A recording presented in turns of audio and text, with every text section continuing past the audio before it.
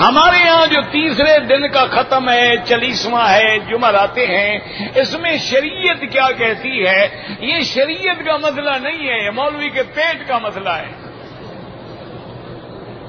शरीयत में ये खालिस आराम है, खाना भी, खिलाना भी।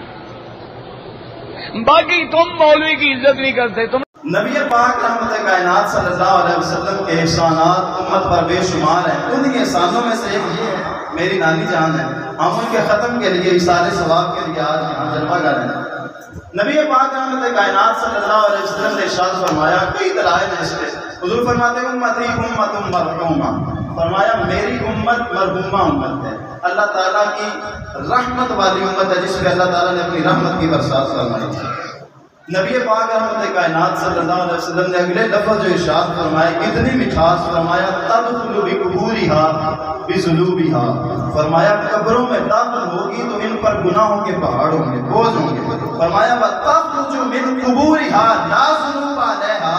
फरमाया, जब कब्रों से निकलेंगे तो इन पर एक गुनाह भी मेरा मालूम नहीं रहने अब हुजूर वजह क्या बयान फरमा रहे हैं? वजह ये है कि भी इस्तिगफार मुमिनीन लहुम दूसरी रिवायत में लफ्ज है, इस्तिगफारी वालदी का लग फरमाया, जो मोमिनीन उनके लिए, उनके बाद दुआएँ मफरत करते रहेंगे, रब ताला उनके गुनाहों को माफ़ फरमा के नेकियों में तब्दील फरमा। नबी पाक रहमत कायनात सल्लल्लाहु अलैहि वसल्लम ने इरशाद फरमाया।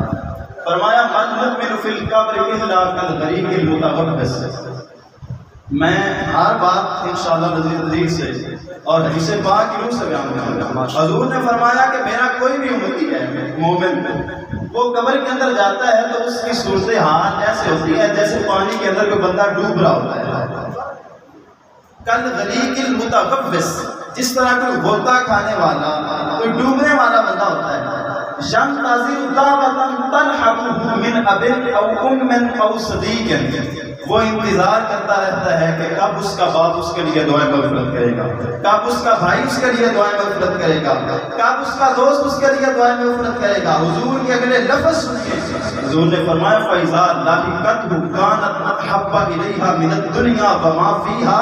फरमाया, जब वो बंदा मोमिन की दुआ उस तक पहुँच जाती है, उस बंदे को दुनिया व फीहा से ज़्यादा अज़ीज़ हुआ मुखल इबादत दुआ इबादत है बल्कि इबादत का मत है इसाल सवाब का इनकार करने वाले दुआ तो करते हैं। रब ताला फरमाता है, रब्बना इग़फिर लना वली इख्वानिना सबकुना बिल ईमान। वो दुआ करते रहते हैं, मालिक जो हमसे पहले चले गए, उनकी मगफिरत फरमा दे। तो अब ये दुआ है, दुआ इबादत है, इसका सवाब जाता है? तो हमारे बुज़ुर्ग फरमाते हैं, रब ताला की रहमत बहुत वसी है। इस तरह इस इबादत का सवाब पहुँच जाता है? रब ताला अपने फजल से दूसरी इबादतों का सवाब पहुंचाता है